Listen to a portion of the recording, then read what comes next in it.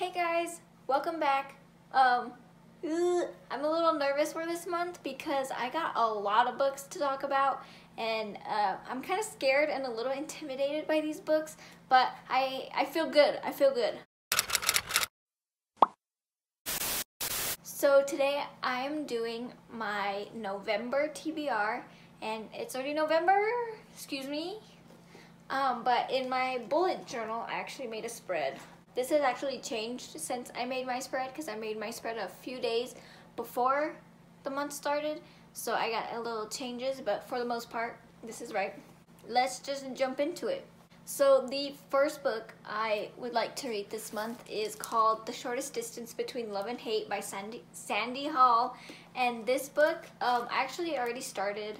I'm about halfway done. So, and I'm enjoying it so far, I think. Um, I haven't read it in a few days. Today is the 4th, and I started this sometime last week. Um, I don't know, I was really, really enjoying it, and then I stopped reading it over the weekend, and um, I don't know.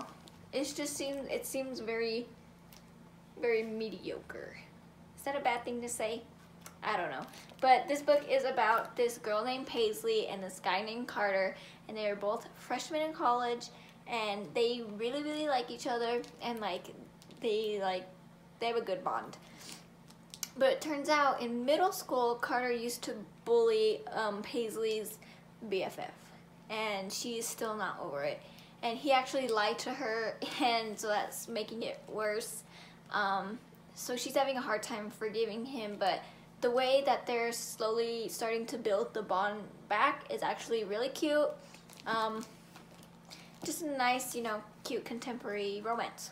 The next book I actually already started is called Anya's Ghost. Um, this is a graphic novel.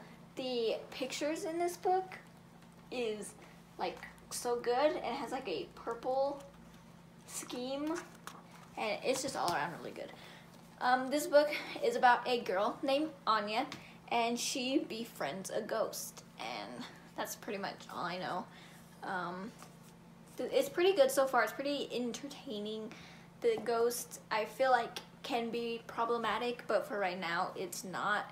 She fell down this well and met this ghost that died 90 years ago, and it's this little girl, and um, she kind of accidentally takes her home, and yeah, that's all I know right now. But I'm really enjoying it and um, I should be able to finish this really fast. Another graphic novel I really want to read is the um, third book in my Mickey Falls series. I would really love to get to that, but that's not super high on my priority list because I have a lot of books. The next book I would really, really like to get to is Twilight by Stephenie Meyers. This book is massive and might take me a minute to read. Um, but this book just, I talked about it in some of my other videos, but this book just honestly, it reminds me of this time of the year because the Twilight movies would always come around, come out around Thanksgiving and after every single Thanksgiving dinner, we would go and watch the new Twilight. And so it was kind of a tradition. And so now it just feels like the perfect time to read this book for the first time and um, I'm super excited. Ooh, I can't wait to get into this world again because I loved it and um, yes. Okay, so I just came back from the library. I had an email that one of the books that I had on hold was ready to pick to be picked up. And so I went to go where they have all the books on hold and I went to go look for my name. I should probably take my name out. Um, and I saw the book and I didn't realize how massive it was. I'm actually so scared to read it. But it's um, The Diviners by Libba Bray. Um, I really, really wanted to read this book because it just seemed like such a good book. And then Emma Books is actually hosting a, a readathon? No, a read, I don't know. She's hosting something where you read each one of the books in the series every month starting in November, I think and it leads up into the new release in February and I thought that was such a good idea. But now that I'm looking at this I'm actually scared. Like this book is 578 pages. That is a lot of pages.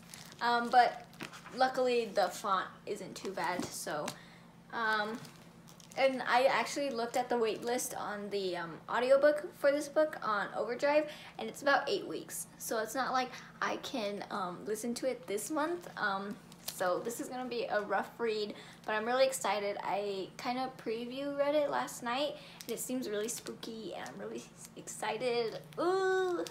And then the final book I would want to read, if I have time to get to, this is very low on my priority list. This is if I manage to have some time. Um, I would like to read What If It's Us by Adam Silvera and and Becky Aldertalli.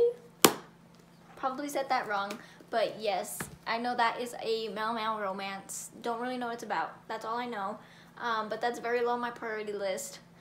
I would love to get to these, what is it, five books? These five massive books. Um, by the end of the month, I'm actually off of school tomorrow, so hopefully I can do a whole bunch of reading. And then I'm also off of school next Monday, and then it's Thanksgiving break. So hopefully I can have time to do this, but it's also the holidays, and I don't know. I don't know. And then my classes are hard, and I'm stressing out, but it's fine. Like, we're chilling. We're doing us, you know? Um, but yeah, that's all that I have for this video. I hope you guys enjoyed, and I'll... I might see you guys next time if I'm not drowning in books. Um, love you, and I'll see you later.